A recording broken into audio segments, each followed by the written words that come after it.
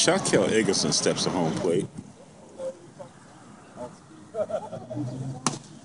First pitch up high ball one. His uh, first at bat, he sent it over the right field fence uh, to the BP gas station. Up and in.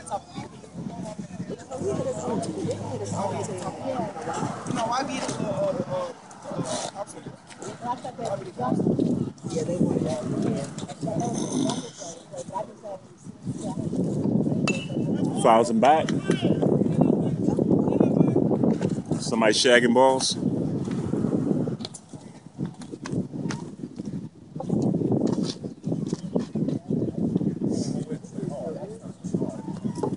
Oh, there's a shot. Boy.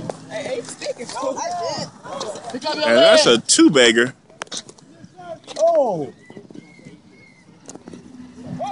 And that's a leadoff double for Charkael Eggleston, a uh, graduated senior here at Morgan Park.